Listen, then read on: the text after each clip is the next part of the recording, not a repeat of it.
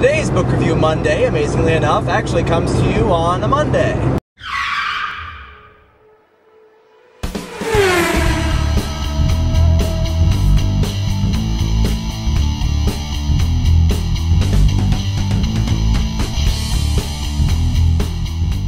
So as you may have noted, most of the destinations in the recent episodes have been to the library. That's because I do tutoring there. The last few times I was at the library, I was looking at a display of children's books that they had out, and I noticed that one of them was titled YouTube. I was intrigued by this, and I was wondering if it was actually a children's book about the website, you know, like Alan Lastufka for kids, or if it was just an amazing coincidence. And so I finally went and checked it out and read it, and that is the book I'm going to be reviewing today.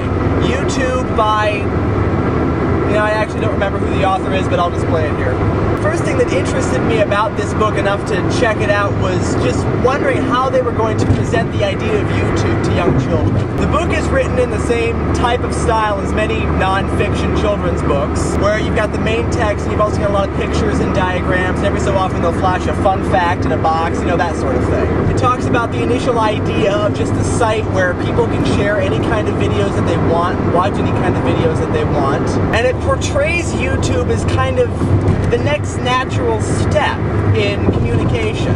It talks about YouTube's place in presenting information, it talks about YouTube's place in building communities. It talks about the idea of how ordinary people can become famous through YouTube, and it presents the many, many, many different ways in which YouTube is used in today's world. And I think what I like most about this book is that the very fact that it even exists means that somebody is taking YouTube and taking vlogging seriously. Now, it is a children's book and it is short, and so it just gives a brief overview. It doesn't go really into depth into a lot of the aspects that I like about YouTube, like the community and the interaction, that sort of thing. But for what it is, I really do like the way in which it presents the site. I think for kids, it is important for them to know about YouTube because it really is going to be a big part of our history. It already is a big part of our history. I mean, really, YouTube has changed the way we think about a lot of things.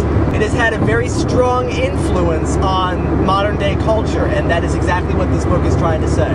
And if you'd like to delve further into this subject, I'm going to direct you to Karen Kavett, Ex Perpetual Motion. She's doing this vlog every day in April thing, and she is using this as a part of a project that she's doing on YouTube and vlogging. For each video, she's asking a question relating to YouTube or vlogging, and she's using a lot of those clips in her project. And tomorrow's Vlog Driver video is actually going to be a response to one of her videos, and so I encourage you to go and check her out if you have not already. And with that, I will see you tomorrow for Question Tuesday. Bye bye.